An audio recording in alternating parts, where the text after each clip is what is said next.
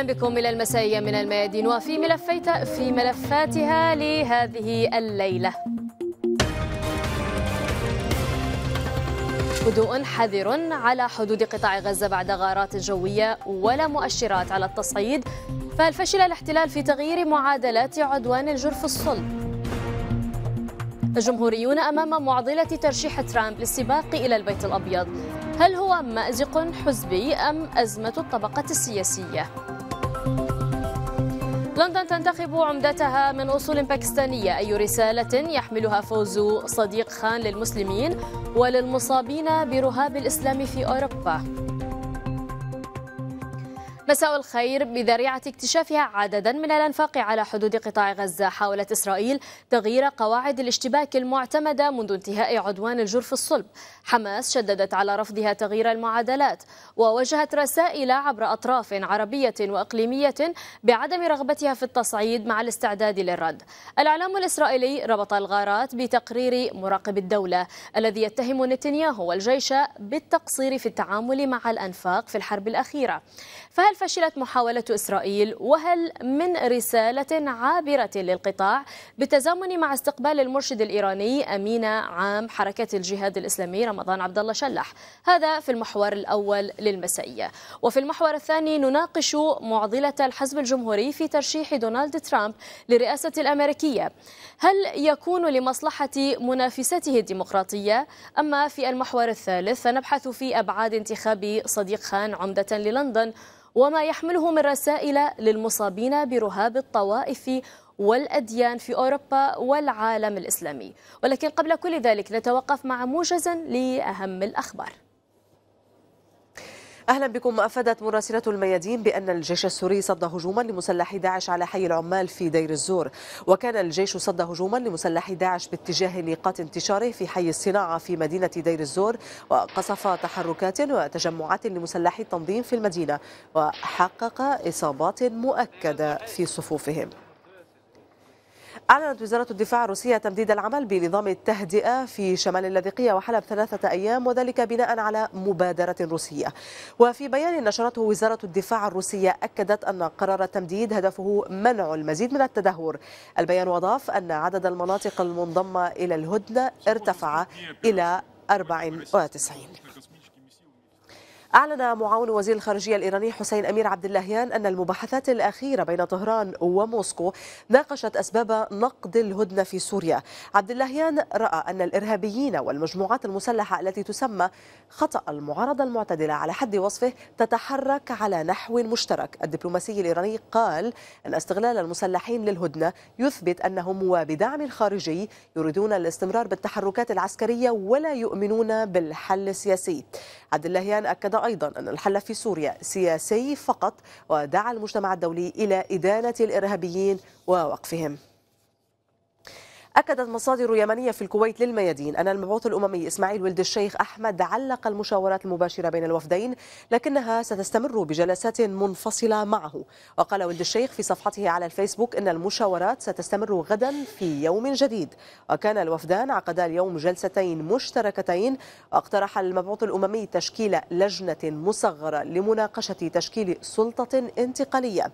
وقد اعترض وفد الرئيس هادي على وقف الغارات وطالب باستمرارها وفق ما نقل مراسلون عن مصادر يمنية بينما اعترض وفد صنعاء على تصريحات رئيس وفد الرئيس هادي بوجوب تسليم الجميع لشرعيته وأثار موضوع وصول قوات أمريكية إلى قاعدة العنت. تمكنت القوات الأمنية العراقية مدعومة بقوات من جهاز مكافحة الإرهاب. تمكنت من تحرير منطقة البحيرات وشمال الروفة في ناحية الكرمة شرق الفلوجة. عملية تحرير تلك المناطق تمهد الطريق لمعركة تحرير الفلوجة من داعش. وقد تكبد التنظيم عشرات القتلى من مسلحيه. أعلنت السعودية عن تغيير شامل في الحكومة وتضمنت الأوامر الملكية إلغاء ودمج وزارات وأجهزة وهيئات حكومية.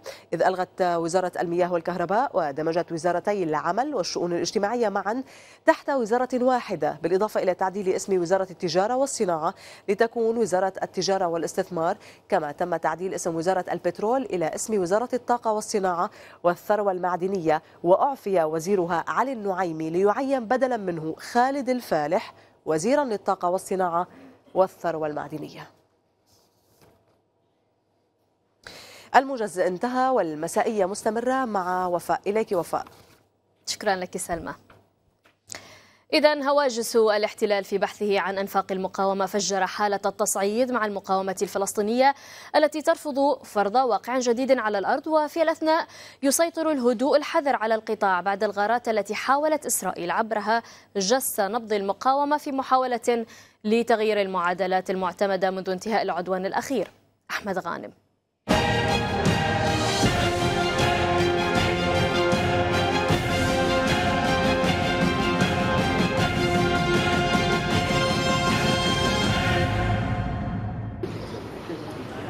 هذا الدمار هو جزء مما خلفه القصف الإسرائيلي لورشات وأراض زراعية في غزة خلال الساعات الماضية بعد استهداف المقاومة لمواقع الاحتلال وقواته التي توغلت قبل يومين في منطقة صوفا شرق رفح في إطار عملية البحث الحثيثة عن أنفاق المقاومة على طول الحدود. أعمال الحفر التي تجاوزت الخط الفاصل أربكتها المقاومة بقذائفها وتسببت بوقفها مفشلة سعي إسرائيل إلى فرض وقائع جديدة على الأرض. المقاومة لن تسمح للاحتلال الإسرائيلي أن يفرض معادلات جديدة في قطاع غزة. كل حدود قطاع غزة يجب أن تبقى آمنة ولكل مواطن من قطاع غزة ولكل مواطن فلسطيني المقاومة أدت دورها في الميدان وكسرت هذه المعادلة. لا نريد أن نجر شعبنا إلى حرب لكن إذا فرضت الحرب على أهلنا في قطاع غزة فإن المقاومة لا يمكن أن تقف مكتوفة الأيدي.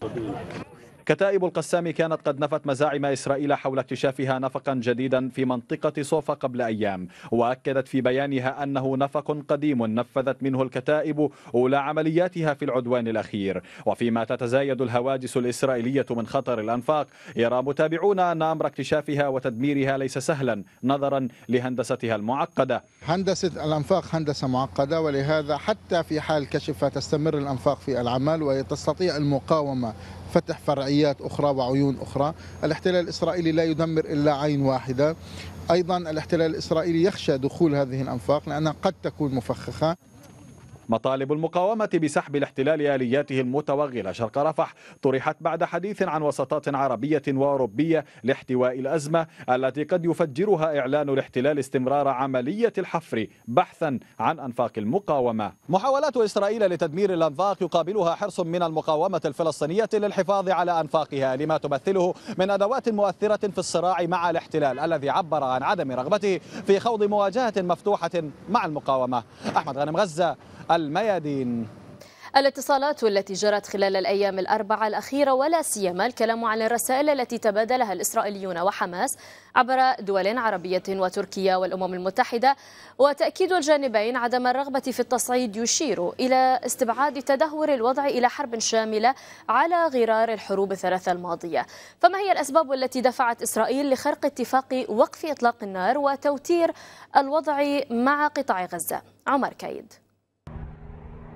تصاعد التوتر في قطاع غزة بين قوات الاحتلال والمقاومة الفلسطينية لا يشي كما تظهر المؤشرات الحالية بنذر حرب مقبلة.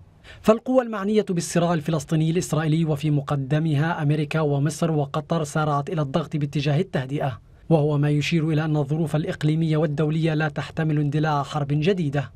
أما فيما يخص الحسابات الداخلية الإسرائيلية فقد انشغل الشارع الإسرائيلي وإعلامه وأوساطه السياسية خلال الأيام الماضية بمسودة تقرير أعده مراقب الدولة. ينتقد أداء المجلس الوزاري المصغر خلال الحرب على قطاع غزة عام 2014 محللون إسرائيليون رأوا في التقرير خطورة لا تقل عن تقرير فينوغراد الذي قيم أداء الجيش الإسرائيلي ومخابراته والحكومة بعد الحرب على لبنان عام 2006 أهم ما في التقرير الجديد انتقاده الوسائل التي استخدمت في معالجة الأنفاق الفلسطينية. لعل التصعيد الأخير وإصرار قوات الاحتلال على خرق اتفاق وقف إطلاق النار من خلال إرسال فرق هندسة للمنطقة العازلة بين المناطق التي يسيطر عليها الاحتلال وقطاع غزة بهدف معالجة الأنفاق كما يقولون. هو محاولة من نتنياهو للهروب إلى الأمام وصرف نظر الشارع الإسرائيلي وسعي في الوقت نفسه لجس نبض المقاومة واختبار جهوزيتها. لكن رد المقاومة السريع يؤكد مجددا أن الفصائل الفلسطينية ورغم عدم رغبتها في التصعيد لن تقبل بأي محاولات إسرائيلية لتغيير المعادلات التي فرضتها الحرب الأخيرة. وللوقوف عند هذا الملف معنا من قطاع غزة القيادي في حركة حماس الدكتور إسماعيل رضوان. أهلا بك دكتور إسماعيل. ومعنا من لندن رئيس تحرير جريدة رأي اليوم الإلكترونية الأستاذ عبد الباري عطوان. أهلا بك أستاذ عبد الباري. أبدأ منك دكتور إسماعيل أهلا. بتقديركم لماذا الآن قامت إسرائيل باستغلال موضوع الأنفاق لضرب قطاع غزة؟ آه، بسم الله الرحمن الرحيم دعيني أوضح بأن الاحتلال الصهيوني بداية من خلال هذا التصعيد الخطير الذي آه، من خلالها أراد أن يستعيد نوع من الاطمئنان للمستوطنين في غلاف آه، المستوطنات في غلاف قطاع غزة وخاصة أن حالة الرعب وصلت مداها من خلال الحديث عن الأنفاق والحديث عن معركة الإعداد. وعما تسببه من قلق شديد في هذا الجانب وبالتالي هذا سبب من الأسباب. يعني هو يحشد الاحتلال كل هذه الطواقم الهندسية وكل القوى العسكرية ليقول للمستوطنين في غلاف غزة أننا قادرون على حمايتكم لأنه أشبه ما تكون هناك هجرة من آه، مستوطنات غلاف غزة. وهم يتحدثون أنهم أمة أن يكونوا أسرى لدى المقاومة أو قتلى أو أن البعض منهم قد هاجر وترك هذه المناطق. وبالتالي هو أراد أن يهدئ من روع المستوطنين. هذا سبب رئيس من الأسباب. السبب الثاني كذلك هي محاولة لصرف الأنظار عن انتفاضة القدس في الضفة الغربية والقدس المحتلة. وذاك لأجل تشتيت هذا الجهد وصرف الأنظار محاولة لتسخين هذه الجبهة كمحاولة لصرف الأنظار عن انتفاضة القدس. والسبب الثالث كذلك هو الفشل الذريع الذي يتحدث عنه مراقب دولة الاحتلال الصهيوني الذي يتحدث عن فشل ذريع للاحتلال الصهيوني في معركة العصف المأكول الأخيرة التي شنها الاحتلال هذا العدوان على قطاع غزة. وأثبت هذا التقرير فشلا ذريعا للاحتلال الصهيوني وإخفائه لكثير من المعلومات والحقائق العسكرية التي من خلالها تم استخدام الأنفاق في ك يعني خيار استراتيجي وكانت هذه الخطوط خطوط استراتيجية آه، حينما ثبت كذب آه، هؤلاء آه، على ما يسمى بالمجلس الأمني المصغر الكابينيت. وهناك تداعيات داخلية وبالتالي تأتي آه، هذه الحملة من التصعيد كذلك لمحاولة آه، الكشف وجس نبض المقاومة وجهزيتها طيب. ومحاولة الكشف عن الأنفاق التي سببت رعبا شديدا لهذا المحتل الصهيوني. طيب أستاذ عبد الباري هل آه، تتفق مع دكتور إسماعيل فيما يتعلق بالأسباب التي دفعت بإسرائيل للتصعيد الآن في هذه المرحلة؟ هذا أولا. وهل هذا القصف الإسرائيلي يحمل رسائل أبعد من قطاع غزة؟ هذا القصف الذي يأتي بالتزامن مع زيارة لرمضان عبد الله آه، شلح آه، لإيران ولقائه بالمرشد الإيراني سيد علي خامنئي.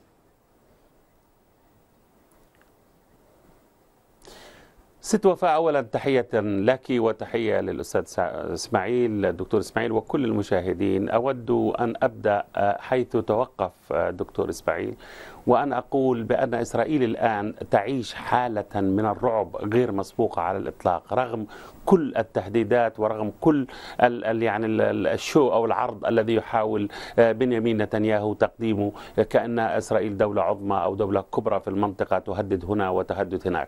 إسرائيل الآن عندما في حالة عزلة في حالة عزلة دولية ونحن في الغرب وفي أوروبا على وجه التحديد نلمس هذه العزلة من خلال الحملة الشرسة التي تشنها حاليا لكل من ينتقد إسرائيل ولكل من ينتقد احتلالها ولكل من ينتقد عنصريتها وممارساتها. في الأراضي المحتلة. هذه نقطة. النقطة الأخرى إسرائيل في حالة رعب أمني على وجه التحديد. نحن نعرف أن هذه الأنفاق تسبب رعبا ليس فقط للمستوطنين الإسرائيليين في غلاف قطاع غزة وإنما أيضا في داخل في العمق الفلسطيني المحتل. هذا يعني نحن علينا أن نتذكر دائما بأن في في العدوان الإسرائيلي الصيف قبل الماضي استطاعت قوات المقاومة من خلال الأنفاق أن أن تقوم بعملية إنزال خلفي زلزلت ال ال ال الكيان الإسرائيلي واستطاعت أن تقتل العديد من من الجنود الإسرائيليين وتأخذ بعضهم أسرى. وصورت هذه العملية بنجاح كبير وأصبحت مفخرة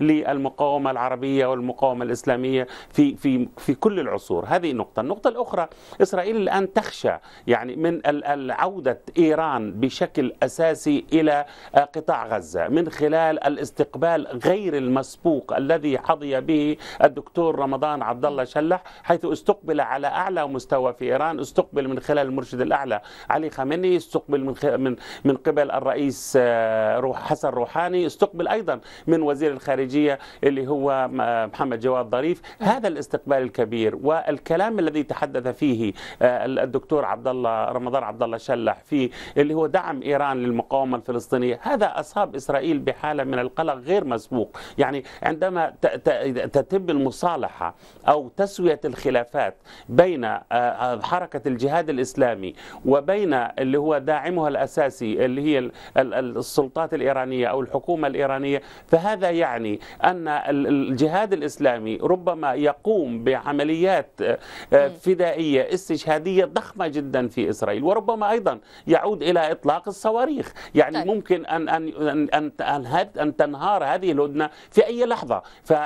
فاعتقد كمان نقطة أخرى أخيرة أن إسرائيل عودتنا أن تشن عدوانا على قطاع غزة كل عامين وتجد الذرائع لتغطية مثل هذا العدوان ونحن علينا نضع في اعتبار بأن الصيف القادم ربما يكمل عامين على العدوان الأول ما أطلق عليه يعني الرصاص أستاذ عبد البر يعني عطفا على ما تقول ال ال يعني العدوان التحليلات الإسرائيلية نعم. تقول بان يبدو بأن هذا الصيف نعم. سيكون فضل. صيفا ساخنا ولكن آه، سؤال لك آه، دكتور تحذر حماس من تغيير قواعد الاشتباك ومحاولة إرساء قواعد جديدة. ما الذي تعنيه بتغيير قواعد الاشتباك؟ وما هي المعادلة التي تريد إسرائيل إرساءها مع حماس والتي تحذر منها حماس حقيقة؟ نعم الاحتلال الصهيوني هو يحاول من خلال هذه الاجتياحات التي تتعلق ب 100 متر 150 متر عبر الحدود ويسميها بما يسمى بالمنطقة العازلة وذاك اعتمادا على ما تم بتسويات سابقة مع السلطة الفلسطينية للأسف. ويعتبر أنه من حقه أن يتحرك في هذه المنطقة العازلة. نحن كمقاومة فلسطينية وكحماس كطليعة لهذه المقاومة مع الفصائل المقاومة الفلسطينية أكدنا ونؤكد أننا لن نقبل تغيير قواعد آه، هذه القواعد ولا تغيير الواقع الموجود بمعنى آخر أنه لا منطقة عازلة. لا نعترف بأي منطقة عازلة وليس هناك حق لصهاينة بأن يدخلوا فترا واحدا ولا شبرا واحدا إلى أرض قطاع غزة بل نحن في سياستنا سياسة تحريرية لتحرير فلسطين كل فلسطين. ولكن نحن نقول الآن أنه يحرم على الصهاينة أن يدخل إلى قطاع غزة. وليست هناك ما يسمى بالمنطقة العازلة لأجل ذلك نحن نرفض أي محاولة لفرض آه، وقائع جديدة على الأرض. وحماس والمقاومة الفلسطينية وجهت رسائل واضحة أنه لن نقبل بتغيير هذه القواعد. طيب ولا تغيير الواقع الموجود إذا في هذه وأن الحالة... أي تدخل أو اجتياح اسمح لي في هذه النقطة سيقابل بالمقاومة. أي تدخل؟ نعم. يعني هذا ما كنت أود السؤال عنه. ما الذي ستقوم به حماس لمنع آه، المحاولات الإسرائيلية لتغيير آه، قواعد اللعبة قواعد الاشتباك؟ آه، وهل ستذهب إلى المواجهة حتى وأن دخلت في حرب؟ لما قد يقال بأنها حرب الجرف الصلب الثانية؟ دعينا أقول لك أننا لسنا طلاب حرب وأن المقاومة هي التي تحدد الزمان والمكان المناسبين للمعركة. ولكن إذا ما فرضت علينا المعركة فنحن لها. وبالتالي لكننا لن نقبل بأي حال من الأحوال أن يتغير الواقع وأن يفرض الاحتلال واقعا جديدا. لأجل ذلك إن أي توغل إن أي اجتياح يجابه بالمقاومة وبالتالي على كل الأطراف أن تعلم ذلك. ومن هذا المنطلق كانت كل الأطراف والوساطات التي دخلت لأجل إعادة التهدئة وتفاهمات التهدئة قلنا لها بشكل واضح بأن الاحتلال هو الذي يتحمل كامل المسؤولية عن هذا التصعيد وعن تداعيات هذا التصعيد لأنه هو الذي خرق تفاهمات التهدئة. ليست هناك منطقة عازلة. نرفض فرض أي وقائع جديدة وأي توغل أو دخول إلى ساحات قطاع غزة سيجابه بالمقاومة. أستاذ عبد الباري كيف نفهم عندما ترسل حماس عبر دول عربية الأردن مصر وأيضا عبر تركيا وليست فقط دول عربية رسائل إلى إسرائيل بأنها لا تريد التصعيد ولا تريد الحرب. نعم يعني هذا يعني تصرف عقلاني وتصرف يعكس حكمة آه، لدى القيادة السياسية والقيادة العسكرية أيضا في حركة حماس. بمعنى هناك 2 مليون آه، مواطن فلسطيني محاصرون بالكامل في قطاع غزة. هناك يعني وضع مأساوي بكل معنى الكلمة. يعني ليس من مصلحة العراق مصلحة قطاع غزة أنه كل عامين يكون هناك عدوان إسرائيلي يستشهد فيه بين 2000 و 3000 إنسان معظمهم الأطفال الأطفال والنساء وتحصل عمليات تدمير. يعني عمليات الإعمار للعدوان الأخير لم تتم حتى الآن رغم المؤتمرات ورغم الأموال ورغم ما قيل من أموال رصدت في هذا الإطار.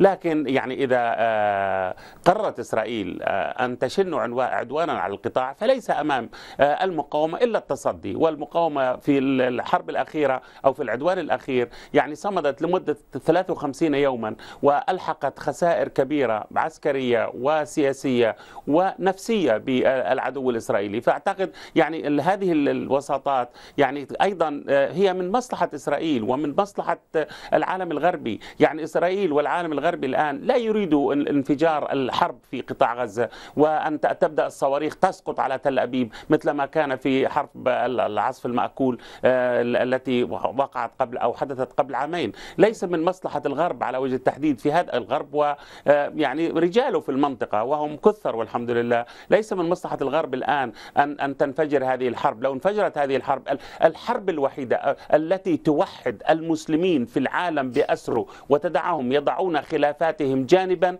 الطائفية والسياسية والعسكرية هي الحرب هي قضية فلسطين والحرب على قطاع غزة. هذه هي الحرب الوحيدة التي توحد العالم الإسلامي. هم لا يريدوا العالم الإسلامي موحدا في الوقت الحالي وفي الظرف الحالي حيث تشتعل الحرب في سوريا تشتعل الأزمات في العراق تشتعل الحرب في اليمن. يعني لا هذه الحرب هي هي أم الحروب دائما. فلسطين هي أم القضايا وهي القضية الموحدة للأمة بأسرها. لا يريد لهذه الأمة أن تتوحد على أرضية المقاومة في فلسطين. طيب. هذه النقطة الأساسية. فلذلك الوسطات ليس حماس التي توسط وإنما هذه الدول حليفة أمريكا هي التي تتوسط من أجل منع هذا الانفجار. طب أستاذ عبد الباري يعني الاحتكاكات حتى الآن محدودة.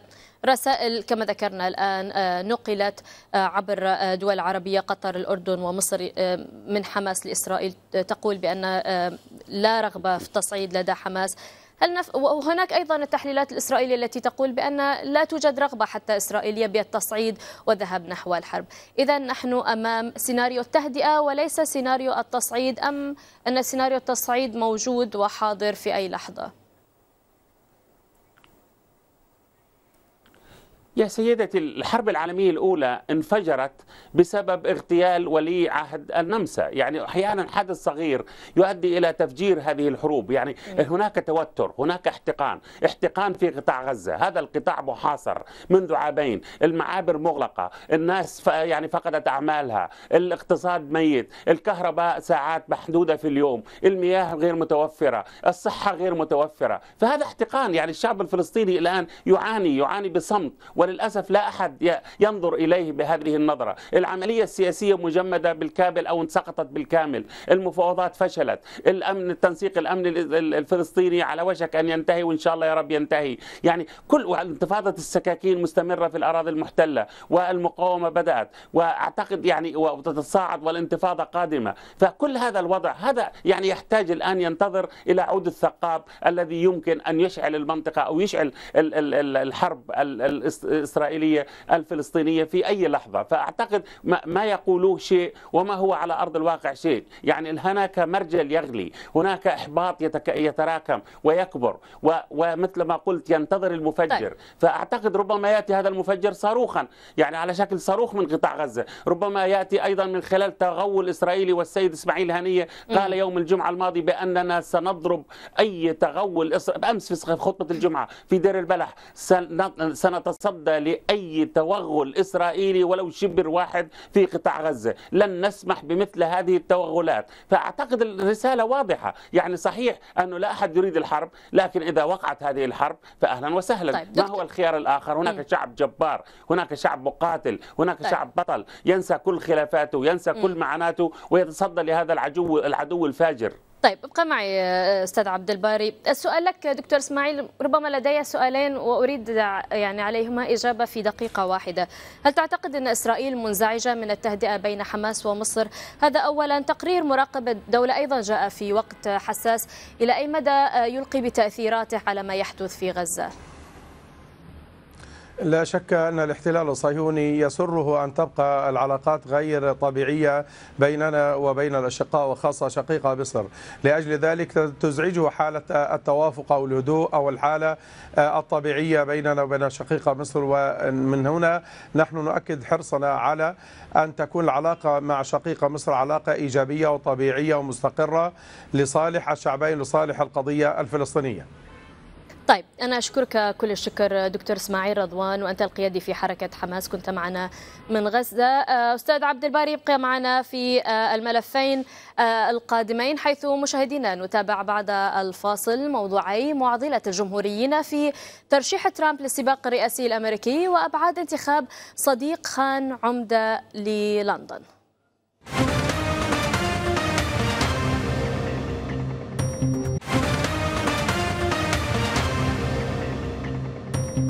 أهلا بكم من جديد إلى مسائية الميادين. تقدم المرشح الجمهوري المثير للجدل دونالد ترامب بثقة نحو البيت الأبيض يرسخه ظاهرة أمريكية لا غبار عليها. لكن هذا هل تكشف هذه الظاهرة مأزقا تعيشه المؤسسة الحاكمة تجاه الشعب الأمريكي؟ جراسيا بيطار. دونالد ترامب. يكفي ذكر الاسم لكي ترتسم علامات عديدة من الاستفهام والتعجب وربما النفور لدى كثيرين. فالملياردير الجمهوري المرشح للرئاسة الأمريكية نجح في أن يطبع صورته في تاريخ أمريكا والعالم سواء وصل إلى الرئاسة أم لا. لا شك أن شخصيته الارتجالية والجدلية بالإضافة إلى تعليقاته الساخرة وغير المألوفة لعبت دورا بارزا في هذا الموضوع ولكن ثمة ما وراء الأكمة. ففوز ترامب حتى الآن لم يكن نظيفا إذا جاز الوصف بمعنى أن لا احتضان جمهوريا له بعد.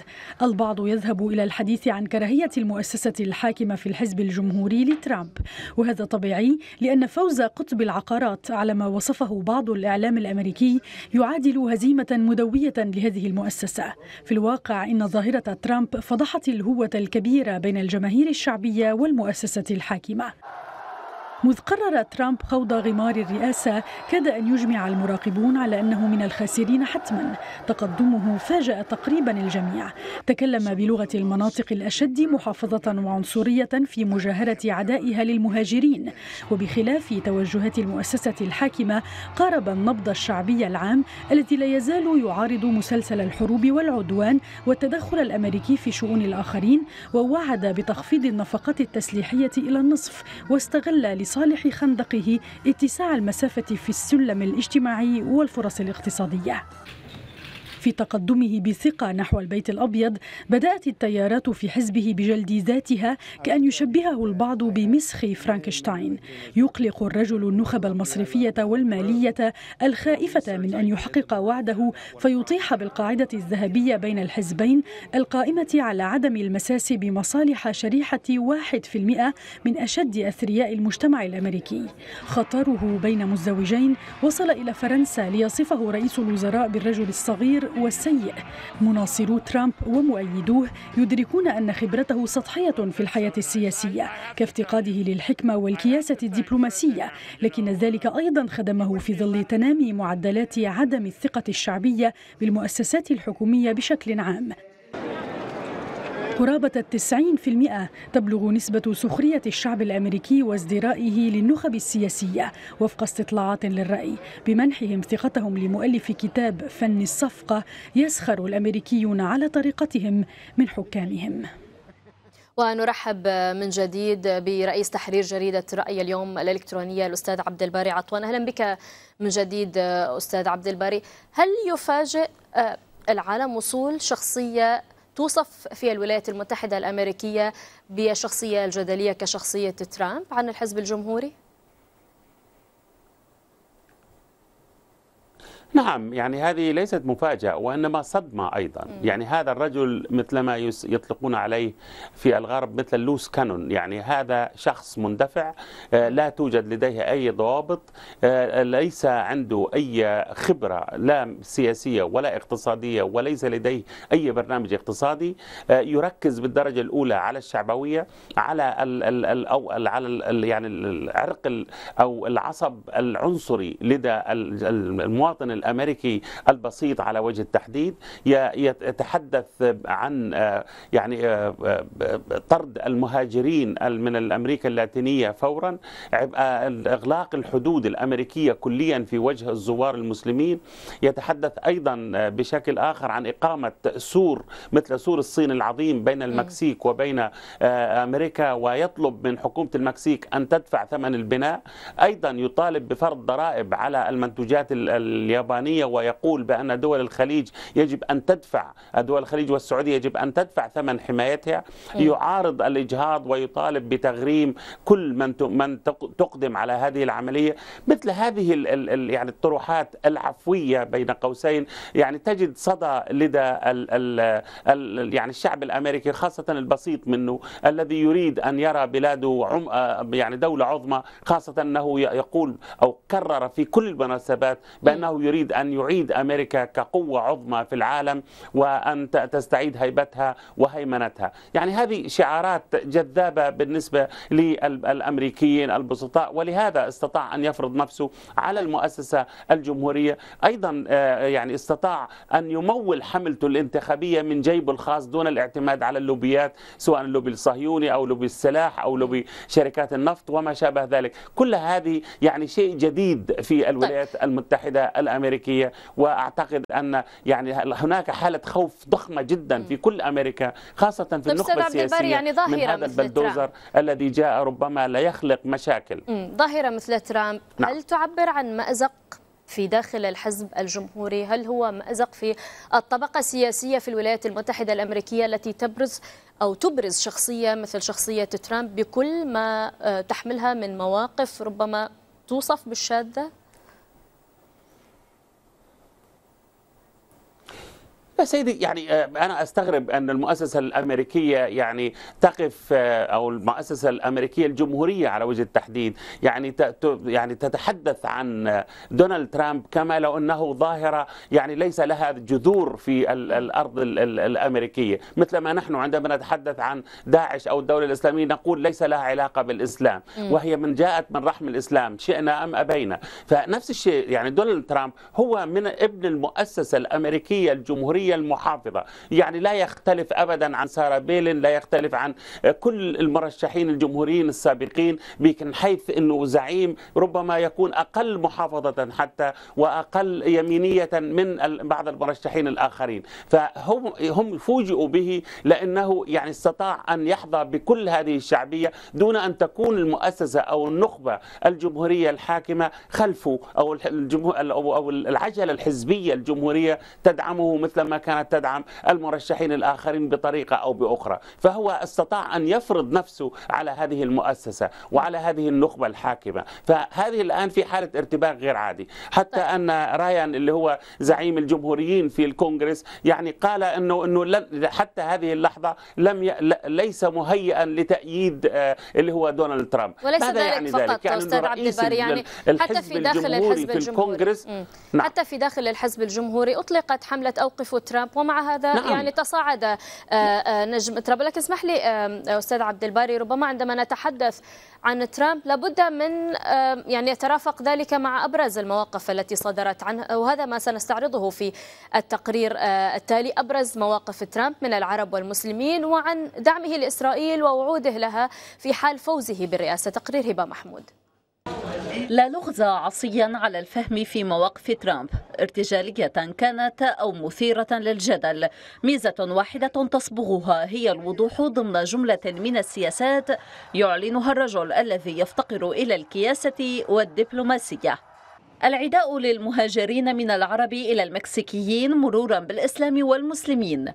وبدءا من بناء حائط على الحدود المكسيكية الأمريكية لمنع تسلل من وصفهم بالمغتصبين ومدمني مخدرات. فالمسلمين الموجودين في الولايات المتحدة والدعوة إلى مراقبة المساجد وإنشاء قاعدة بيانات لتسجيل المسلمين. الإسلام يكره أمريكا بثلاث كلمات فقط اختزل ترامب معادلة العلاقة مع الإسلام. أطالب بالإغلاق التام والوقف الكامل ومنع المسلمين من دخول الولايات المتحدة الأمريكية. ليس لدينا خيار آخر. المسلمون يكرهون الأمريكيين وهو ما يشكل خطرا على البلاد. سنجعل دول الخليج تفتح كيسها. يرى ترامب. إذا أن دول الخليج خزانة للمال وحسب بل ذهب أبعد من ذلك وقال إنه لا يحب السعودية وإنها ستكون في ورطة كبيرة في وقت قريب وأمريكا لن تساعدها لأنها لم تعد بحاجة لنفطها. ترامب طرق باب الإسرائيليين وفتحه على مصراعيه ليجد آذانا صاغية كاسبا ثقة اللوبي الصهيوني من خلال وعود سيلبيها للإسرائيليين. نقل السفارة الأمريكية من تل أبيب إلى القدس. عودة المفاوضات من منطلق الشروط الإسرائيلية وإعادة النظر في الاتفاق النووي الإيراني. ودعم إسرائيل في مواصلة بناء المستوطنات في الأراضي الفلسطينية إضافة إلى زيادة المساعدات العسكرية لإسرائيل. أتحدث إليكم كداعم مدى الحياة وصديق حقيقي لإسرائيل. حتى أن ابنتي لديها أطفال يهود رائعون. صدقوني عندما أكون رئيسا لأمريكا سأصوت بالفيتو ضد أي قرار ضد المصالح اليهودية. على الفلسطينيين أن يجلسوا إلى الطاولة وهم مدركون أن الرابط بين أمريكا وإسرائيل غير قابل للكسر نهائيا. ومرة تلو أخرى يفلح ترامب في الاقتراب من السباق الانتخابي النهائي على الرغم من وصف منافسته هيلاري كلينتون له بالتقسيمي والمتعصب. ولكنه بالتأكيد ليس كما وصفته وسائل الإعلام الأمريكية قبل أشهر فالرجل أثبت أنه ليس نكتة. أستاذ عبد الباري بالإضافة إلى كل المواقف التي أطلقت من ترامب نتوقف عند المواقف من العرب ومن القضية الفلسطينية وكأنه يتنافس مع كلينتون على إثبات الحب لإسرائيل. عندما يقول بأن سيتم نقل السفارة الأمريكية من تل أبيب إلى يعني فلسطين. mm والله يا ست وفاء أنا أستغرب يعني طب هل سمي لي مرشح أمريكي لا يطالب بمثل هذه المطالب؟ يعني طب باراك أوباما جاء إلى السلطة وقال إنه س يعني آه، يتمسك بحل الدولتين وسيوقف الاستيطان الإسرائيلي. ها هو على وشك أن يذهب ماذا فعل؟ أستاذ عبد الباري فقط اسمح لي نقطة هذه النقطة. الإبن قال بأنه في نهاية ترامب مع مع توسع الاستيطان يعني هذا هذه أيضا من من المواقف التي تضاف إليه. نعم هو مع توسع الاستيطان وأيضا يعني هل أوقف الاستيطان الرئيس الأمريكي باراك أوباما مثلا؟ يعني هل أوقف الاستيطان جورج بوش الإبن مثلا؟ يعني آه هذه حقيقة يعني كلهم يتشابهون عندما تأتي الأمور للدول العربية وتأتي الأمور للقضايا الإسلامية، يعني عندما يقول باننا سأفرض ضرائب على الخليج وعلى المملكة العربية السعودية، عندما يقول بأنني سأشجع الاستيطان أو سأنقل السفارة الأمريكية إلى إلى القدس، عندما يقول بأنني أفتخر بأن ابنتي لديها أطفال يهود وما أجملهم.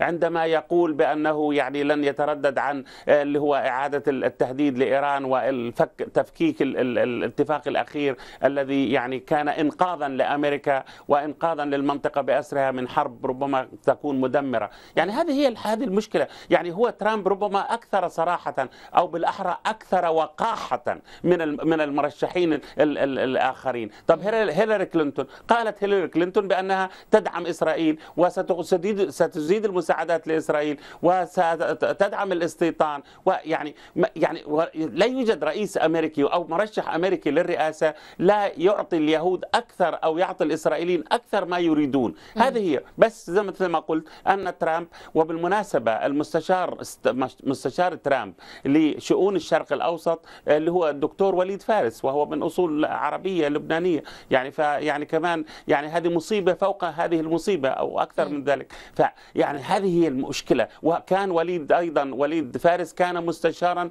لرومني اللي هو المرشح الأمريكي لانتخابات الرئاسة في الانتخابات السابقة. فيعني المسألة أنه نحن نفاجأ بترامب. والله يا سيدتي كلهم ترامب. كلهم ترامب. يعني هم يكنون لنا العداء وهم يدعمون إسرائيل ولا يريدون لنا الخير ولا يريدون لنا السلام. بل المزيد من الاستيطان والمزيد من الحروب والمزيد من القمع والمزيد من المضايقات للمسلمين. يعني ما تحدث يا سيدي أنصار نعم. يعني الإسلام المسلمون في الولايات المتحدة الأمريكية يعيشون حالة رعب وهجمات وتفتيش ومكارثية جديدة تعود حاليا إلى أمريكا. حتى قبل مجيء ترامب تستهدف المسلمين على وجه التحديد. طيب ابقى معي أستاذ عبد الباري. ربما نكتفي بهذا القدر فيما يتعلق بملف الانتخابات الأمريكية وهناك أيضا ملف آخر لا يقل أهمية فيما يتعلق بفوز صديق خان بمنصب عمدة لندن حيث لا انتصار ساحقا أو واضحا لأي من الأحزاب البريطانية في الانتخابات الأخيرة. آه، جيرمي كوربن زعيم حزب العمال استطاع نسبيا الحفاظ على مكاسب الحزب مع جرعة معنويات هامة بفوز مرشحه المسلم آه، صديق خان بمنصب عمدة لندن. أما المحافظون ورغم تراجعهم البسيط إلا أن الأمور ستتعقد على زعيمهم رئيس الوزراء ديفيد كاميرون الذي يواجه مشاكل جمة. لعل أهمها فضائح بنما وقضية استمرار بريطانيا في الاتحاد الأوروبي. موسى سرور. لم تجري رياح الانتخابات المحلية وفق ما تشتهي أهواء قادة الأحزاب السياسية البريطانية.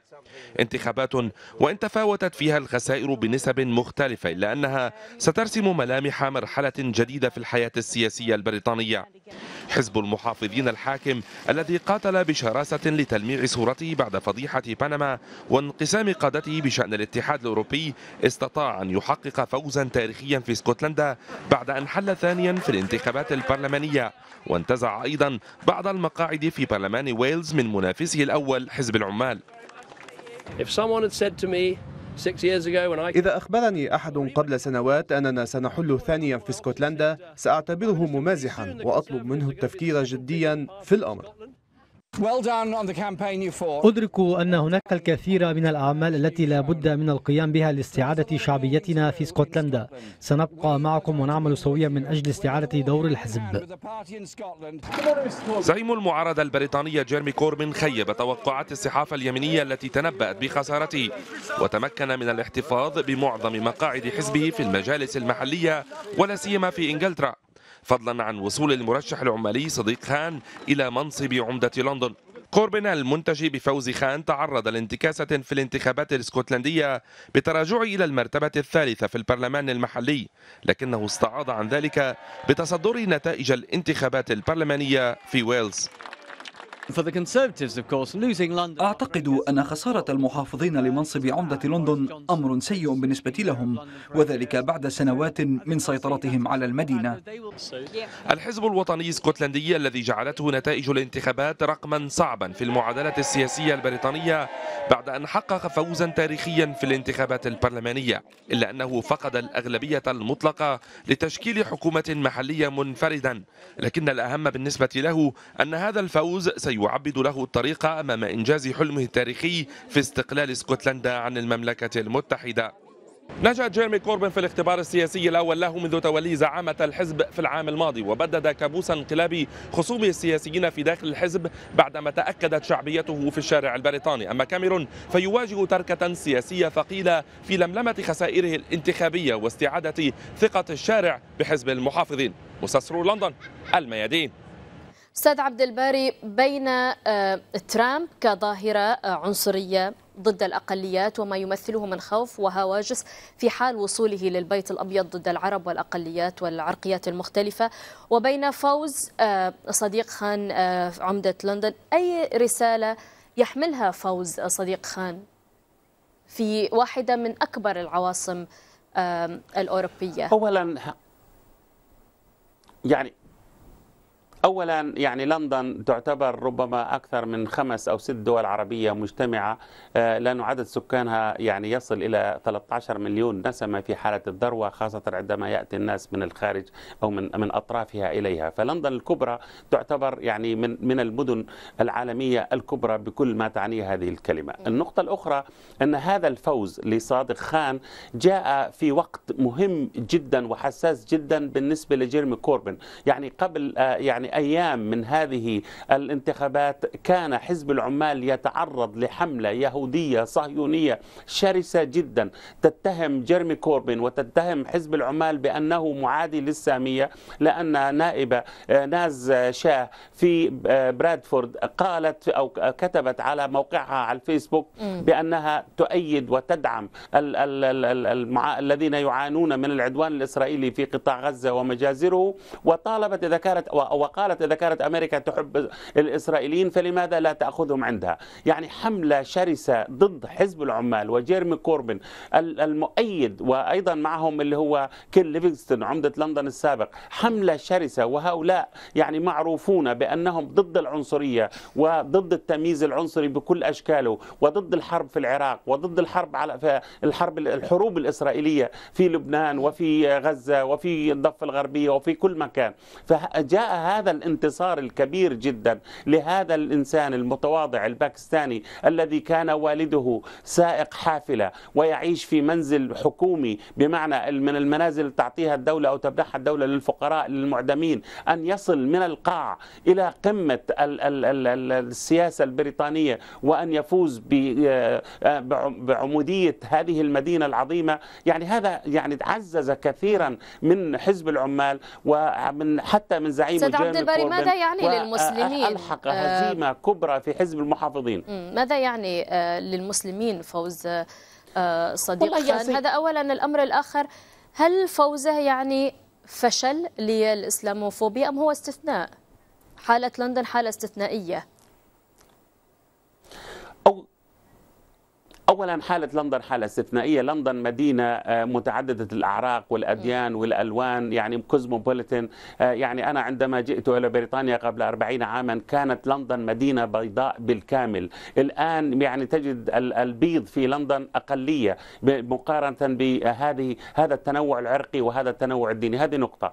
النقطة الأخرى إنه صديق خان آه، أثبت بإنه يعني سار بالطريق الصحيح. دخل المؤسسة البريطانية. ودخل التعددية الحزبية وانضم لحزب العمال وصعد السلم من القاع إلى القمة. يعني يعني واعتبر نفسه بريطانيا ولم يعتبر نفسه آه، مسلما. لا كان بريطانيا أولا ومسلما بالدرجة الثانية. لا شك أن فوزه هذا يعزز آمال وطموحات الجالية الإسلامية في مواجهة حملة الإسلاموفوبيا الضخمة التي نتعرض لها سواء في وسائل الإعلام أو في بعض المؤسسات البريطانية. بخاصة الآن يعني هذه الحملة تتصاعد بعد اتهام المسلمين بالإرهاب وتفجيرات باريس وتفجيرات بلجيكا وتفجيرات أمريكا. فأعتقد هذا جاء, جاء هذا الانتصار في الوقت المناسب وسيعزز من الوجود ليس فقط المسلمين وإنما أيضا كل الأقليات الأخرى التي جاءت إلى هذه البلاد واندمجت أو تحاول الاندماج